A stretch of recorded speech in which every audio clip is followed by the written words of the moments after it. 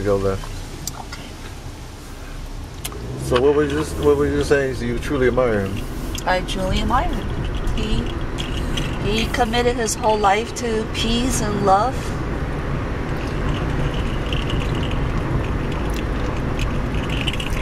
What happened in Mississippi? What did you? Oh, that was a five-day retreat. That was really a treat.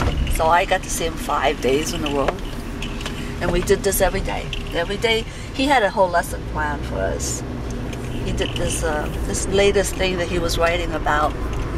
There's a thing that he does is like the the, the right.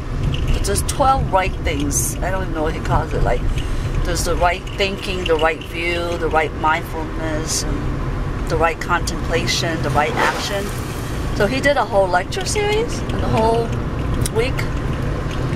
And then one day he actually devoted to a question and answer, which I normally hate, but I end up loving it because he let mostly the children ask him the question. So they asked the most poignant and interesting questions.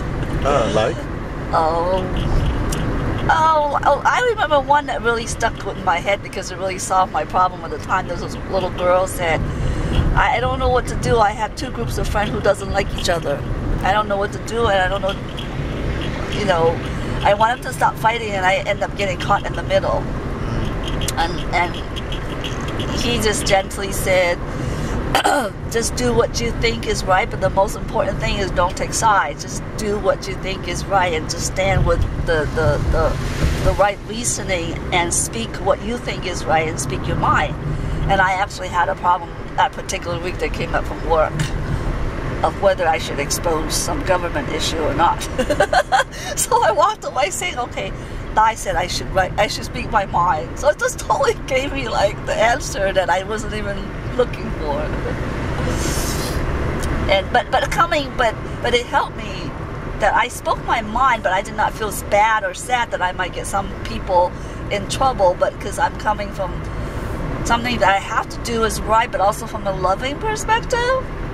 Know that I want to be helpful and I want to make things right and better so that it doesn't happen again. I'm not coming from like a vindictive or angry disposition.